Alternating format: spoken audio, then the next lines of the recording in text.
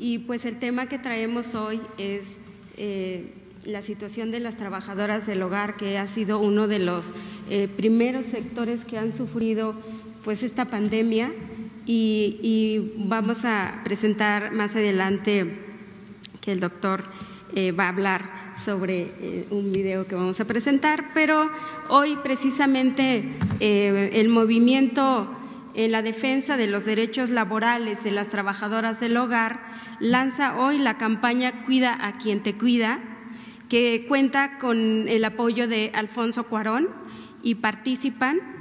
organizaciones civiles, artistas y trabajadores de la cultura.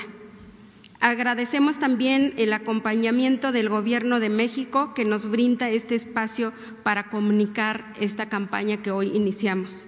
En México, 2.3 millones de personas trabajadoras del hogar, 96% eh, no cuenta con seguridad social, 98% no cuenta con contrato y muy pocas tienen otros tipos de derechos, por lo cual eh, sus ingresos hoy en esta crisis han sido afectadas enormemente. Nosotras